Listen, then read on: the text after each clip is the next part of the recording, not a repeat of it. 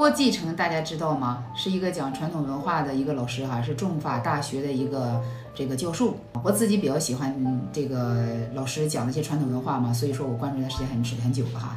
但是呢，作为一个成年人，我们必须要有一些批判性思维，不能因为对一个人的盲目崇拜，所以他的所有观点你都认同啊。昨天我就在头条上听他说了一期视频，说为什么现在的年轻人都不愿生孩子？就有一个年轻人回答嘛，说现在啊，这个经济压力太大了啊，我们年轻人扛着三座大山，然后活得生不如死啊，自己都活得不好了，生下孩子来干嘛还要让他再遭罪啊？所以说干脆就不生了啊，就是觉得是自己因为这个能力不行，是因为贫穷。然后呢，这个郭继成老师呢就问他，那你觉觉得啊，你的奶奶啊，她有能力去养这么多孩子吗？就让她去回忆过去，回忆她的父亲，然后回忆她的爷爷奶奶。然后呢，这个大学生呢就回忆了一下，好像是他爷爷奶奶还有他的父亲父母这一辈儿呢。他这个物质能力啊，都远远比他现在的这个创造物质的这个能力要弱很多了哈。实际上，因为现在大部分年轻人他不愿意生孩子，主要原因是因为他太看重自己的感受了，他不愿意为了整个家族传宗接代，使命感太薄弱。也有很多人表示同意有这样的一个观点，但是我觉得哈，这个根本不够客观啊。为什么那个时候的老年人，就包括我们的父母那辈，他们愿意生孩子呀？是因为那个时候他有希望，他只要生一个孩子，给家里增加了一个劳动力。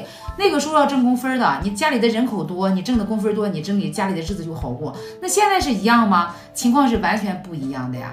是因为我们现在这代年轻人，他根本看不到希望，他觉得他在社会的最底层，他怎么奋斗，都都突破不了命运的一个枷锁和束缚。我觉得莫言说的一句话特别的到位，就是在我们还没有吃饱饭之前，就是生存还没有解决之前。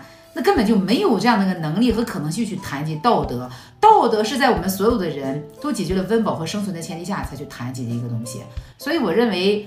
这个郭继成老师说的这种观点是不对的，就我既然我活得不好，生不如死，我干嘛让我的后代还来到这个世界上去体验这种痛苦呢？对不对？我对我的后代最大的一种厚爱，就是我不生他，我不把他带到这个世界上来。这是这个年代的所有年轻人他对这个生命的一种理解和一种感悟。我认为不一定是个坏事啊，对不对？这是人类精神文明得到解放。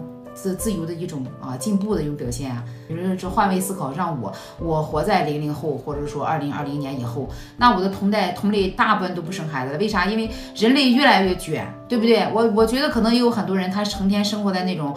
就生怕地球有一天被一个小行星撞死，然后整个地球就烟消云散了。那你还生什么孩子呀？你自己能够有多少能力就享受多少生活就行了，尽人事听天命就好了，好好过好自己，好好为自己负责就可以了。但我不知道大家是什么看法，呃，可以在评论区啊，欢迎大家来聊一聊你的看法。我是一心姐，讲点务实的成长感悟，记得点赞关注哦。